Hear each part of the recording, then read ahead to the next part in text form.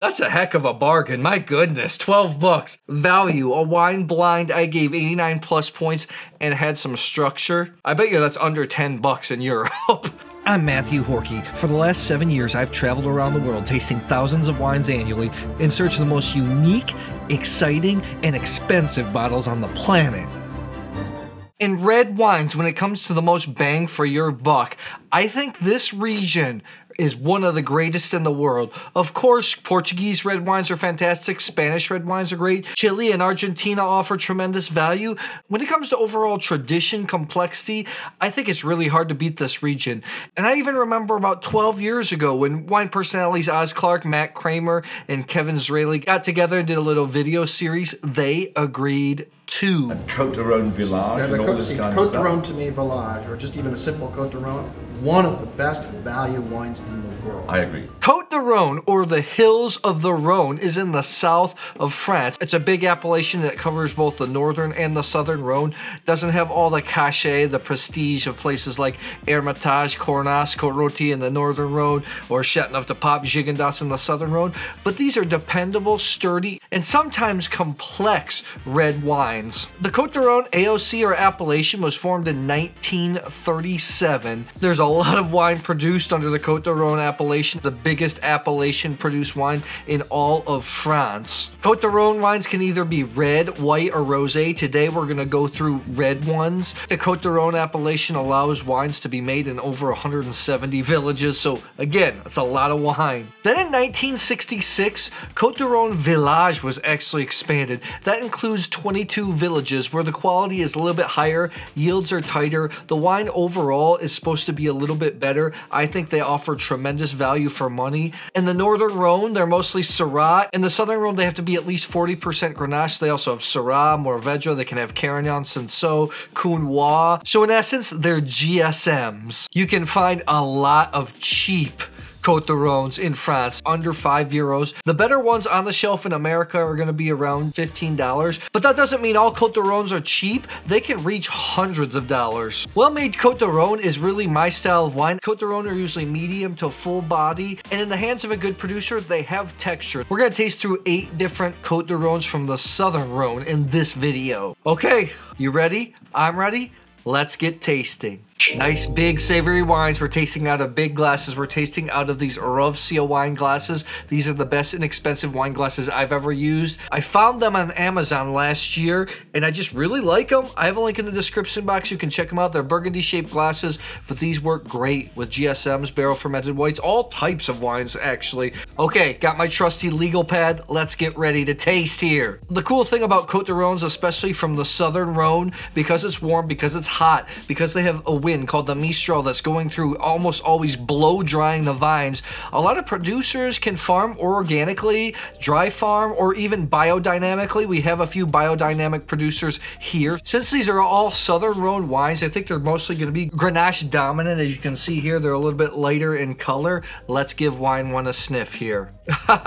wine one has a little bit of Brett, a little bit of animalness. Brettanomyces is actually a strain of yeast. Can happen in the vineyard in the cellar. There's different strains as well. They can give off different flavors. This one's a little bit more meaty. Some people really don't like it. I personally love it. Got a little bit of meat, leather, red cherry. Smells really good. A little bit of pepper. This is why I really like some of these Cote de Rhones. This is really well done. It has tannins. It has structure. It has a lot of complexity due to the Brett. Wine 2 is more straightforward, more what I typically expect out of a GSM, a Cote de Rhone. Black cherry, meat, pepper, like kind of like the stone mineral type flavor. These two don't taste like, don't smell like inexpensive wines. Again, not boring wine. This wine has structure, has some tannin, has a little bit of grip. Nice little start here, not simple Cote de at all. Wine 3 smells the youngest. This smells like bright sour cherry, lots of earth, tons of mineral notes. It's really fruity. That's what's really nice. It feels like it's more Grenache dominant, just easy tannins, not really grippy. Now here's what's gonna get confusing.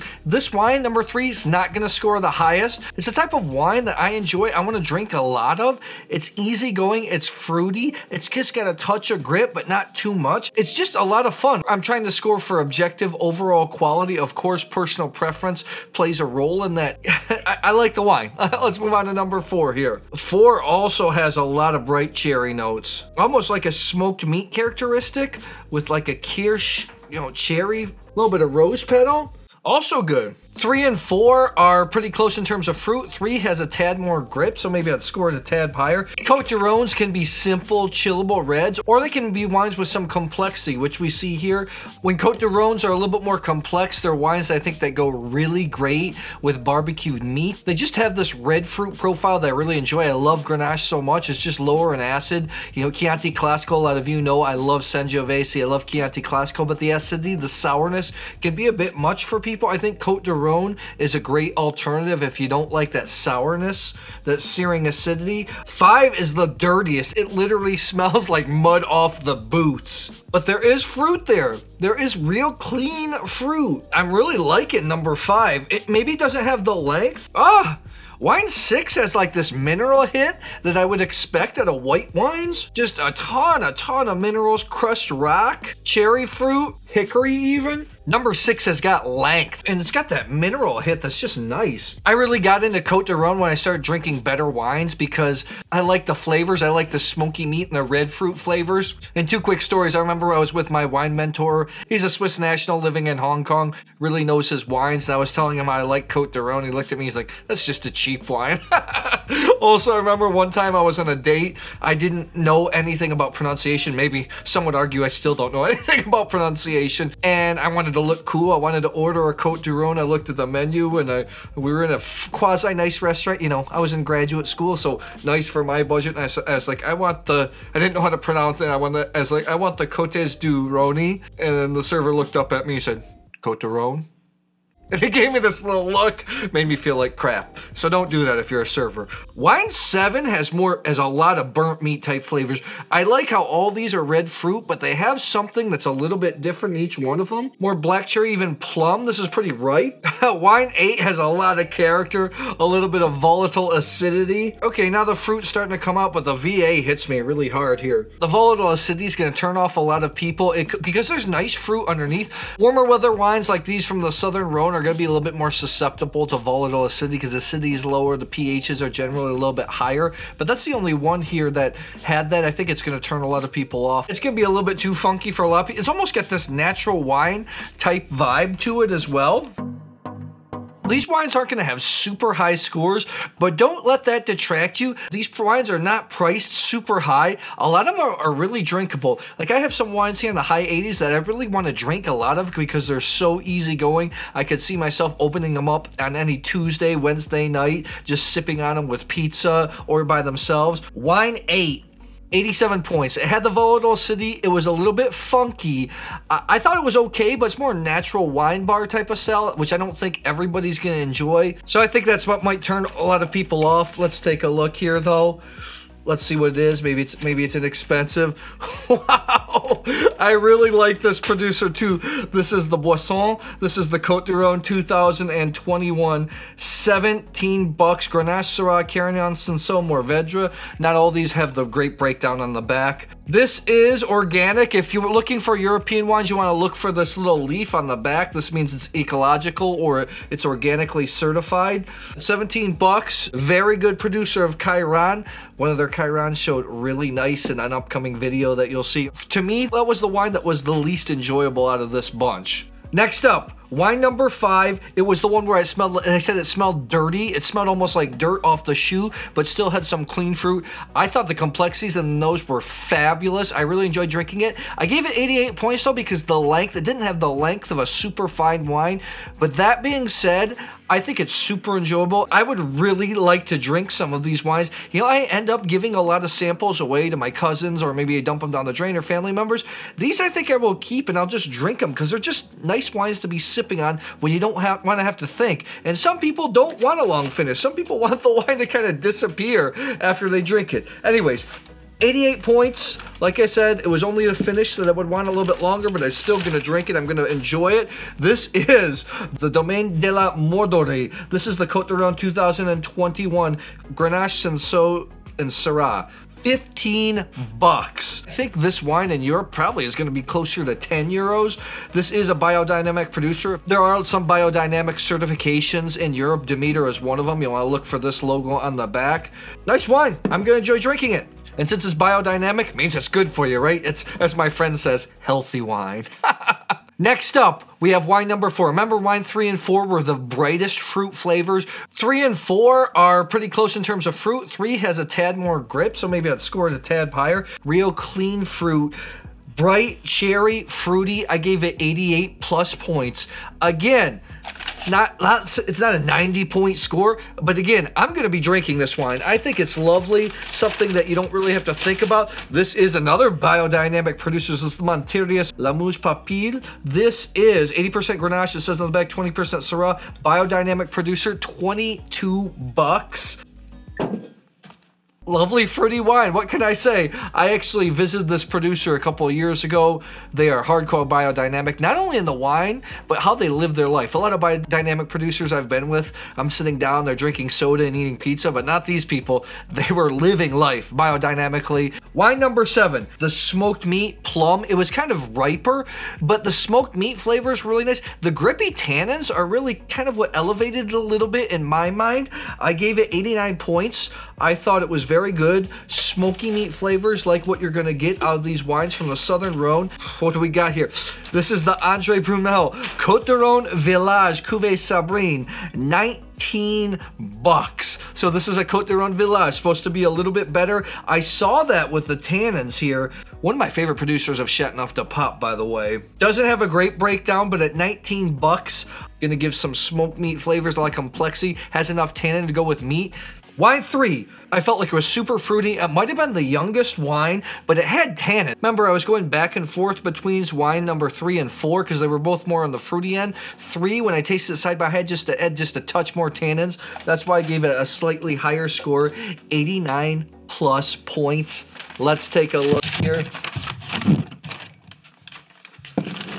As I knock my microphone off. All sorts of fun things are happening here today.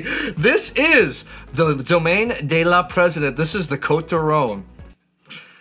This is 12 bucks. 50% Grenache, 35% Syrah, 10% Carignan, 5% Mourvedre.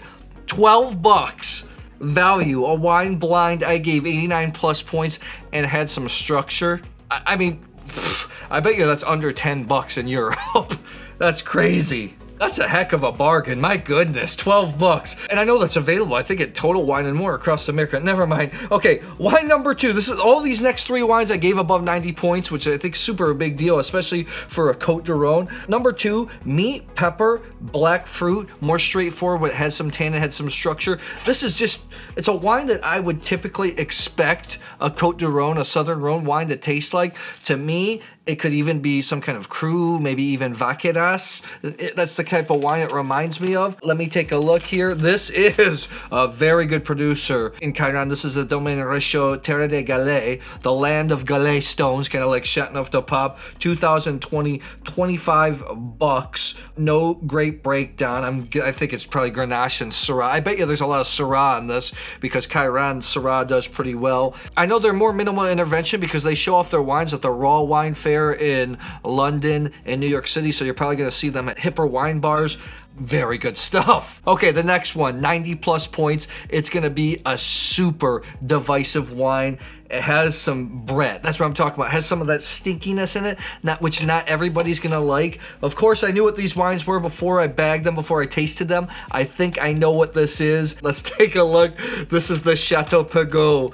This is the Setier Rhone Village. This is owned by Domaine Pégau, some one of the more famous Chateauneuf de Papes that has that Bretty signature style. 1999, 60% Grenache, 20% Syrah, 20% Mourvedre. This is 2020. I've had this wine in the past. If you want a taste of Chateauneuf de Pape, a taste of the Pégau Chateauneuf de Pape style, you don't want to break the bank, this is a great bargain. I say jump right in. Number six It was just mineral, had like the minerality, almost of like a Riesling of, of, of a high quality white wine. Length, just really pure, pure, clean fruit. 91 points. Let's take a look here. This this is the Domaine Galuval Le Coq Volant, the Côte du Rhone Village Rouge 2020. It says Syrah mostly and Grenache. I'm surprised it more be more Grenache. 14% alcohol. Again, 15 bucks. 91 points. That's a lot of value. Tell me, do you like meaty red wines? Do you like wines from the Southern Rhone? What do you think of Côte du Rhone? Do you think of them as just cheap wines or do you think of it as high quality stuff too? One of the more exciting tastings, no, in everything from 12 to 25 bucks. Go out and drink some Côte du Rhone, guys. Thanks a lot. I'll see you soon.